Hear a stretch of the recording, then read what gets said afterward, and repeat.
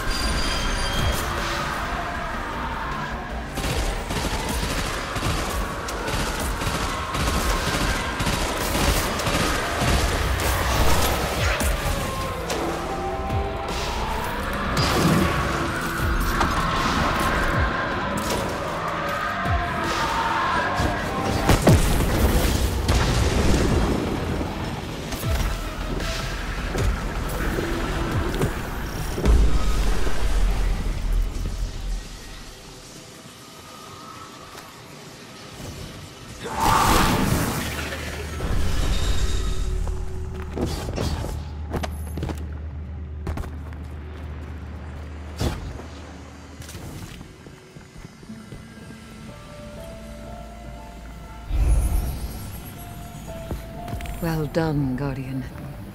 I will interpret the darkness's messages as best I can.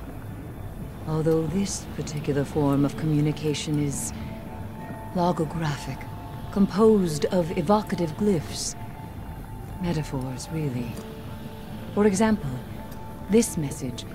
This word could mean protected, but it is loaded with subtext. There are connotations of blithe authoritarian forces unshakable in their faith. The translation sheltered would not be sinister enough. Perhaps gelded. Clearly, the darkness does not believe the Traveler to be as benevolent as we do. Continue your efforts. We have much to learn.